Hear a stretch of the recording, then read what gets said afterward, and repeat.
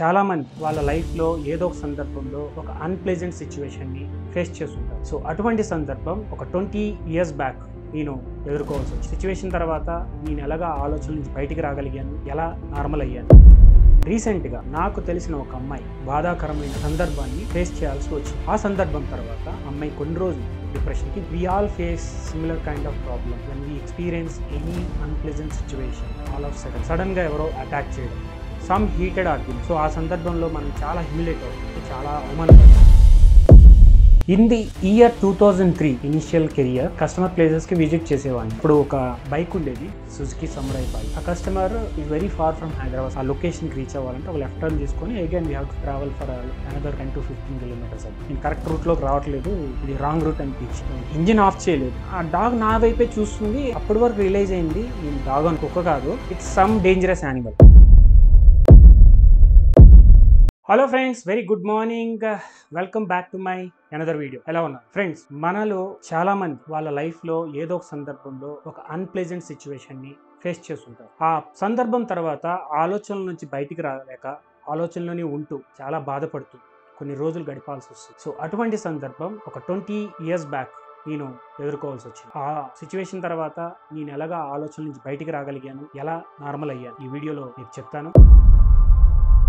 So ఈ video నేను చేయడానికి కారణం ఏంటంటే రీసెంట్గా నాకు తెలిసిన ఒక అమ్మాయి ఒక అన్ప్లెజెంట్ సిచ్యువేషన్ని బాధాకరమైన సందర్భాన్ని ఫేస్ చేయాల్సి వచ్చింది. ఆ సందర్భం తర్వాత అమ్మాయి కొన్ని రోజులు డిప్రెషన్కి గురైంది. We all face similar kind of problem right when we experience any unpleasant situation all of sudden which we don't expect to happen right like సడన్గా ఎవరో అటాక్ చేయడం ఆల్ ఆఫ్ సైడ్ లేదు అంటే చిన్న యాక్సిడెంట్ని మనం ఫేస్ చేయడం. అలాగే some heated argument between family members or friend circle. So ఆ సందర్భంలో మనం చాలా హ్యూమిలేట్ అవుతాం. అంటే చాలా అవమానపడ అవమానంగా ఫీల్ అవుతాం. అటువంటి సందర్భాల తర్వాత మనం చాలా డిప్రెషన్కి గురవుతాం. చాలా ఆలోచిస్తాం. ఆ సందర్భంలో ఎక్కువసేపు ఎక్కువ రోజులు మనం గడుపుతూ ఉంటాం. సో దాని నుంచి నేను ఆ అటువంటి సిచ్యువేషన్ నుంచి నేను ఎలా బయటకు రాగలిగాను? అమ్మాయి ఎటువంటి ఇన్సిడెంట్ని ఫేస్ చేయాల్సి వచ్చింది? ఈ వీడియోలో డిస్కస్ చేస్తాను నేను ఏదైతే ఇన్సిడెంట్ ఫేస్ చేశానో అది ఎక్స్ప్లెయిన్ చేసే ముందు ఈ అమ్మాయి ఎటువంటి సందర్భం ఎటువంటి అన్ప్లెజెంట్ సిచ్యువేషన్ ఫేస్ చేసింది దాని గురించి మాట్లాడుతుంది సో రీసెంట్గా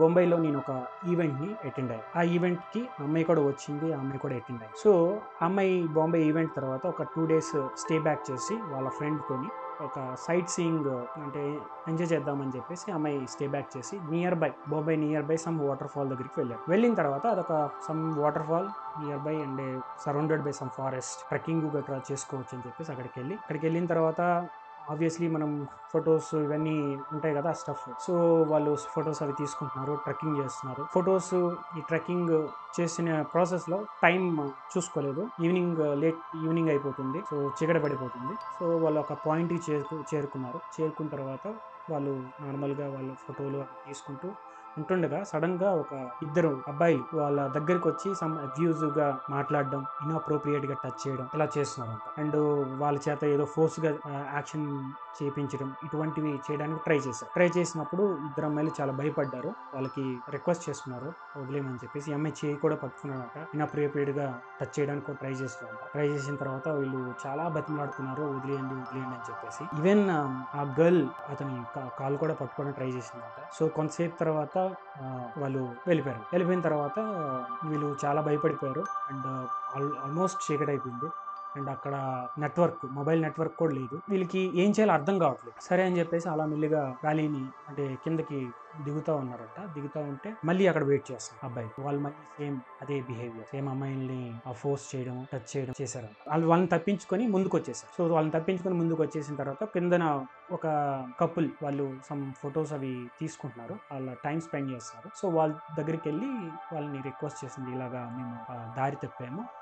మీతో పాటు జాయిన్ అవ్వచ్చా అంటే ఓకే వాళ్ళు ఓకే అని చెప్పేసి వాళ్ళతో పాటు కిందకి వెళ్ళిపోయి కిందకి వెళ్ళిపోయిన తర్వాత మళ్ళీ అక్కడ కిందకి వెళ్ళిన తర్వాత అక్కడ కూడా అబ్బాయిలు ఇద్దరు వెయిట్ చేస్తున్నారంట. బట్ సమ్హౌ వాళ్ళని తప్పించుకుంటూ అంటే బయటకు వచ్చేసారు బయటకు వచ్చేసి సమ్ టెంపుల్ దగ్గర అక్కడ కూర్చుని కాసేపు రెస్ట్ తీసుకుని ఇంటికి వచ్చేసారు బట్ ఆ సందర్భం తర్వాత ఎవరైతే అమ్మాయి చెప్పామో అమ్మాయి చాలా డిప్రెషన్కి గురైంది అంటే ఒక కొన్ని డేస్ మాత్రం సీ ఫేస్ దట్ ఇంగ్లీష్ దానివల్ల ఏంటంటే ఓవర్గా స్మోక్ చేయడము. సో ఈ అమ్మాయి యాక్చువల్ సిచ్యువేషన్ నుంచి చాలా డేరింగ్గా చాలా క్యాపబుల్గా బయటకు వచ్చేసి బట్ ఆ సందర్భం నుంచి బయటకు వచ్చిన తర్వాత ఆలోచనల నుంచి తప్పించుకోలేదు అమ్మాయి ఆలోచనలు ప్రతి క్షణము అవే ఏదైతే సిచ్యువేషన్ జరిగిందో ఆ సిచ్యువేషన్లోనే తిరుగుతూ ఉన్నాయి. అంటే మనకేంటంటే మన లాజికల్ మైండ్ చాలా రకాలుగా పనిచేస్తుంది. వాట్ ఇఫ్ వాట్ ఇఫ్ అంటే ఇదైతే అలాగే ఉంటే ఏం జరిగి ఉండదు అలాగే ఉంటే ఇలాగ జరిగి ఉండదు.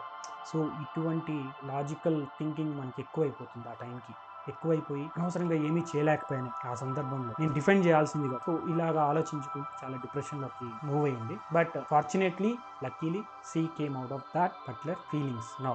She is fine. So now coming back to my story.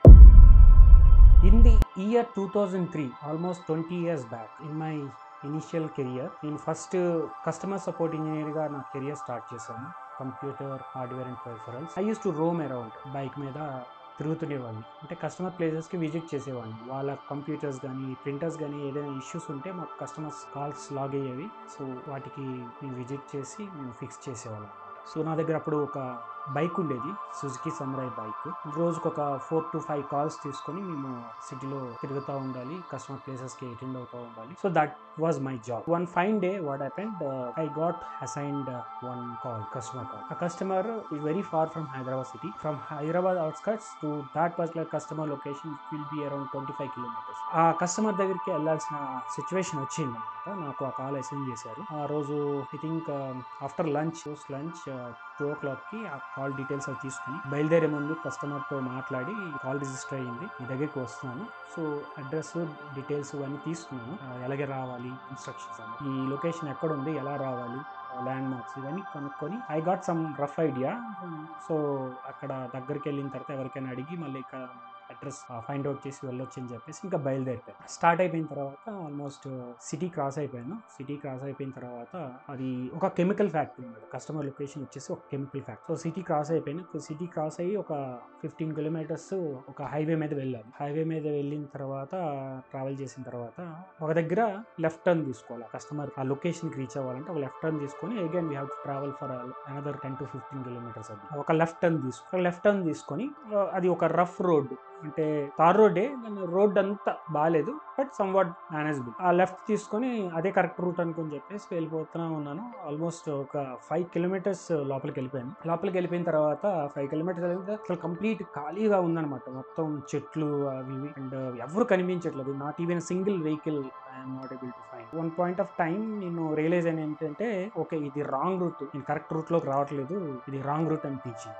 So నేనేం చేశాను? ఇమీడియట్గా మళ్ళీ హైవే పాయింట్కి వచ్చేదామని చెప్పేసి టర్న్ తీసుకు టర్న్ తీసుకొని జస్ట్ బైక్ ఇంజిన్ ఆఫ్ చేయలేదు జస్ట్ బైక్ స్టాండ్ మీద పార్క్ చేసి వాష్రూమ్కి వెళ్ళాలని చెప్పేసి దిగాను. దిగిన తర్వాత చుట్టూ జస్ట్ నోటీస్ చేశాను. దూరంగా సమ్వేర్ ఆల్మోస్ట్ ఒక చాలా దూరంగా ఒక చెట్టు పక్కన ఒక డాగ్ చూసాను ఆ డాగ్ నా దగ్గర చూస్తుంది. నేను క్యాజువల్గా ఉన్నాను. So once I done with my bio break మళ్ళీ అట్ సైడ్ చూసాను అటు సైడ్ చూస్తే ఆ డాగ్ నా వైపే చూస్తుంది అండ్ నేనేం నోటీస్ చేశానంటే కొద్ది క్లోజర్ వచ్చిందని చెప్పేసి అనిపించింది. నేను నా బైక్ దగ్గరికి వచ్చేసాను. వచ్చేసి మళ్ళీ ఎందుకో డౌట్ వచ్చి మళ్ళీ చూసాను నేనేం నోటీస్ చేశానంటే అప్పటి వరకు రియలైజ్ అయింది నేను డాగ్ అనుకో but it's it was not a dog కుక్క కాదు. It's some dangerous animal by looking at టోక tail కానీ ఆ మెడ పోర్షన్ కానీ చూస్తే నాకెందుకో చాలా డేంజరస్ కానీ ఆ టైంలో ఆ మూమెంట్లో మాత్రం నేను ఇమీడియట్ మూమెంట్ ఇవ్వకుండా స్లోగా క్యాజువల్గా నా బైక్ మీద ఎక్కి కూర్చొని సడన్గా రైడ్ చేసి ఇంకా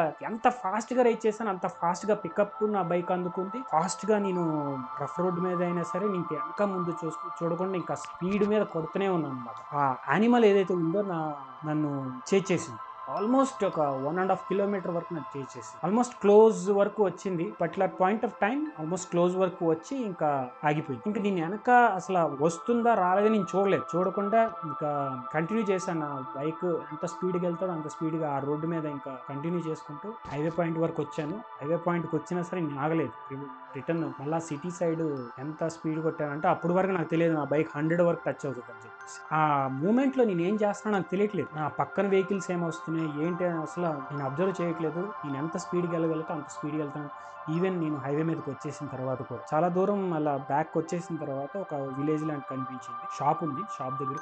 ఆగి ఆగి జస్ట్ వాటర్ బాటిల్ తీసుకున్నాను. నేను చాలా అంటే నా హార్ట్ బీట్ చాలా హెవీ అయిపోతుంది అనమాట ఫుల్ స్వెట్ స్వెటింగ్ వచ్చింది హార్ట్ బీట్ చాలా హెవీ అయిపోయింది. అక్కడ చూసి ఒక ఇద్దరు పర్సన్స్ చూసి ఏమైంది? ఎందుకు అంత టెన్షన్ పడుతున్నావు? అని చెప్పేసి అడిగారు. అడిగితే నేను ఇమీడియట్గా ఆన్సర్ చెప్పలేకపోయాను. ఎందుకంటే నేను అంత హెవీ బ్రీత్ తీసుకున్నాను. కాసేపు రిలాక్స్ అయ్యి వాటర్ తాగి almost five to ten minutes తర్వాత దెన్ వాళ్ళకి చెప్పాను సిచ్యువేషన్ ఏం జరిగింది అప్పుడు వాళ్ళు వార్న్ చేశారు. ఆ లొకేషన్ అసలకే ఫారెస్ట్ ఏరియా అంత సింగిల్గా ఎప్పుడు వెళ్ళకూడదు. ఓన్లీ అటు సైడ్ హెవీ ట్రక్స్ అవే ఎక్కువ వెళ్తుంటాయి. నార్మల్గా సింగిల్గా వెళ్ళడం చాలా డేంజర్ అని చెప్పేసి వాళ్ళు చెప్పారు. నాకు ఇంకా భయం తగ్గలేదు. సో ఇమీడియట్గా నేను ఆఫీస్కి కాల్ చేసేసి నేను ఏం చెప్పానంటే ఇలా చిన్న యాక్సిడెంట్ అయ్యింది. నేను ఇంటికి వెళ్ళిపోతున్నాను కస్టమర్ ప్లేస్ కూడా వెళ్ళలేదు. అని చెప్పేసి ఇంకా నా దగ్గర ఏదైతే డివైస్ అంటే అప్పుడు పేజర్లు వాడుతున్నాను స్విచ్ ఆఫ్ చేసేసి ఇంకా నేను ఇంటికి వెళ్ళిపోయాను ఆ రోజు ఈవినింగ్ ఎలాగా టైం స్పెండ్ చేశానో నాకే అర్థం కాలేదు. Too much you know low feel anxiety కోపం భయం అన్ని రకాల ఫీలింగ్స్ ఉంటే అన్ని రకాలు నాలో ఉన్నాయి. నేను ఎవరికి చెప్పుకోలేకపోతున్నాను ఏం జరిగింది ఏంటనేది. టూ డేస్ అనేది నేను అసలు ఆల్మోస్ట్ నేను రూమ్ నుంచి బయటికి రాలేదు. And I was using lot of alcohol and smoking ఆ రూమ్లో ఉంటూ అలాగ ఉండిపోయాను అనమాట టూ డేస్ చాలా డిప్రెషన్ మోడ్లోకి వెళ్ళిపోయాను. ఏమి ఆలోచిస్తున్నా సరే అవే అవే సిచ్యువేషన్ థాట్స్ వచ్చేస్తున్నాయి మైండ్లోకి. అంటే నాకు చాలా మల్టిపుల్ క్వశ్చన్స్ అనమాట మైండ్లో. ఆ టైంలో నా బైక్ కానీ ఆగిపోతే నా పరిస్థితి ఏంటి? లేకపోతే బైక్ ఏమైనా అయితే నా పరిస్థితి ఏంటి? అంత స్పీడ్గా వచ్చాను కదా ఆ రోడ్డు కూడా బాగాలేదు if if something happen if some balance I lose what would have happen so ఇవన్నీ ఇటువంటి క్వశ్చన్స్ అని నా మైండ్లోకి వచ్చేస్తున్నాయి అనమాట ఎంత కంట్రోల్ చేసుకుందామైనా సరే నా వల్ల కావట్లేదు. దానివల్ల నేను over usage of alcohol and smoking ఆ టూ డేస్ లిమిట్లెస్గా నేను యూజ్ చేశాను. ఆ తర్వాత అనిపించింది this is not the correct way అనిపించింది. ఎందుకంటే దట్ ఈస్ మా not my lifestyle so third day onwards నేను ఏం చేస్తానంటే సరే మార్నింగ్ ఫ్రెష్ అప్ అయిపోయాను బయలుదేరాను బయలుదేరి ఒక సినిమా థియేటర్ సినిమాకి వెళ్ళాను. అండ్ ఆ సినిమా అయిపోయిన తర్వాత ఇంకో సినిమాకి వెళ్ళాను నెక్స్ట్ షో అండ్ దాని అది అయిపోయిన తర్వాత ఇంకొక show so first day three shows complete కంటిన్యూస్గా మూడు సినిమాలు చూశాను. That too I went to no lower class like ten rupees class ఉంటుంది కదా ఆ టైప్ అనమాట ఆల్మోస్ట్ బెంచ్ అలాగా వన్ డే కాదు ఫోర్ డేస్ నేను చేశాను. ఎందుకు చేశాను?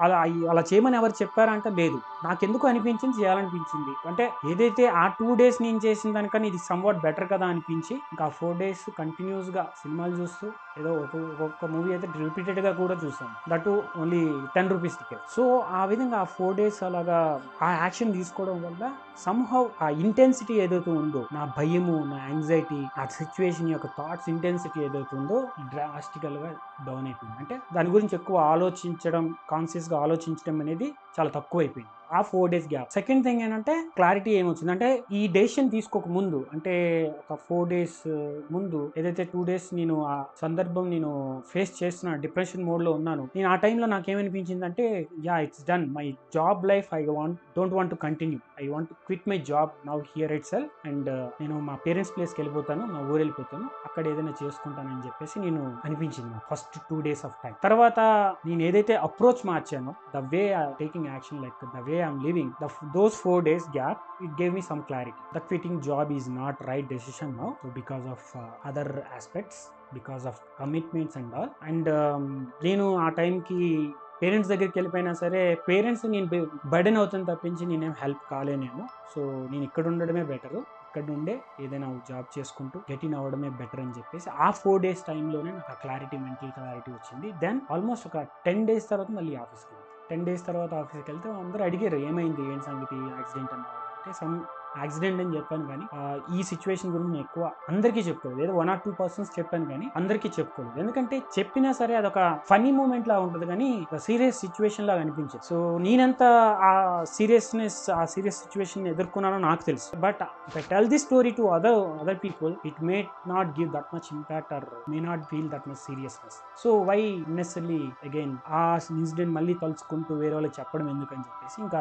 దాని గురించి మాట్లాడడం కానీ ఆలోచించడం కానీ in Manesar. So this is my story. Which happened twenty years back. Very dangerous situation right అటువంటి పరిస్థితి నుంచి నేను ఈజీగా విత్ ఇన్ ఫ్యూ డేస్లో నేను బయటికి రాగలిగాను. దట్టు నేను ఒక డిఫరెంట్ బ్యాడ్ యాంగిల్లోకి వెళ్ళకుండా అంటే ఫస్ట్ టూ డేస్ మాత్రం I used alcohol smoking very heavily so అది కంటిన్యూ చేయకుండా I took some other part definitely that అది నాకు వేరే విధంగా హెల్ప్ అయింది. Yeah that's it about my story ఈ స్టోరీస్ యొక్క కన్క్లూజన్ ఏంటంటే మన లైఫ్లో చాలా సందర్భాల్లో మనం బ్యా చాలా బ్యాడ్ సిచ్యువేషన్స్ ఆర్ బ్యాడ్ ఫేజెస్ని క్రాస్ చేసుకుంటూ వస్తాం. ఆ ఇంపాక్ట్ అనేది మనం చాలా రోజులు క్యారీ చేస్తాం. అది మన మైండ్కి చాలా ఇంపాక్ట్ ఇస్తుంది. మన ఆలోచనలు మాత్రం ఎంతసేపు ఆ ఏదైతే జరిగిందో దాని వైపే అట్రాక్ట్ అవుతాం కానీ మనం రియలైజ్ అవ్వాల్సింది ఏంటంటే మనం ఏదైతే సిచ్యువేషన్ అనుకుంటున్నామో దాన్ని చాలా సక్సెస్ఫుల్గా క్రాస్ అయ్యి వచ్చేస్తాం. ఆ with in few minutes of time like what are the unpleasant situation బాధాకరమైన సందర్భం. అది దాన్ని చాలా సక్సెస్ఫుల్గా మనము అధిగమించేసి ముందుకు వచ్చేస్తాం అది వచ్చేసిన తర్వాత దాని ఇంపాక్ట్ ఇంకా ఎక్కువ ఉంటుంది. బికాస్ ఆఫ్ అవర్ థాట్స్ మన ఆలోచనలే మనల్ని ఇంకా డిగ్రేడ్ చేస్తాయి ఇంకా డిప్రెషన్ మోడ్లోకి తీసుకెళ్ళిపోతాయి. మనం ఐడెంటిఫై చేయాలి మన ఆలోచనలు ఎటువైపు వెళ్తున్నాయి అవి ఎలాగ ఇంపాక్ట్ ఇస్తున్నాయి అండ్ దాన్ని మార్చుకునే ఆ టెక్నిక్ మనం నేర్చుకోగలగాలి మన లైఫ్లో. ఆ టెక్నిక్ ఎలా మార్చుకోవాలి ఏంటంటే ఇదే డూయింగ్ సమ్ డిఫరెంట్ థింగ్స్. అంటే ఒక సందర్భం జరిగింది కదా అని ఒక దగ్గర కూర్చొని అలా బాధపడము ఏడవడము స్కేరీగా ఫీల్ అవడము దానికన్నా some other activity you are interested in some some activity దానిలోకి వెళ్ళిపోవడం better or if you want travel somewhere you can travel like if you want to do something else some physical activity some action so you can do it so that your mental picture will get changed at least అంటే నీ memory నుంచి కంప్లీట్గా arrange చేయలేవు కానీ but ఆ ఆలోచనల impact అనేది నీకు మ్యాక్సిమం ఉండవు. అవి ఆల్మోస్ట్ డైల్యూట్ అయిపోయి so immediately we have to change our mental picture if any situation happen which is unpleasant to us so this is what I want to convey my message in this video we all face different kind of situations whether it is maybe good or bad okay bad impacts అలా good we don't care about good incident that is the unfortunate thing right? So bad situation జరిగినప్పుడు ఇమీడియట్గా మన mental picture మార్చుకొని మార్చుకోవడానికి try చేయాలి. yeah that's it from this video. Thank you very much for watching this video till this end. I hope you have uh, got some message or it is useful for for your life. And uh, thank you very much. Thanks for watching this video. Have a nice day.